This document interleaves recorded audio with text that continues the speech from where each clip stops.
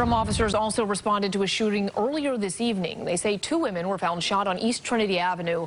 Both were taken to the hospital with injuries considered non-life threatening.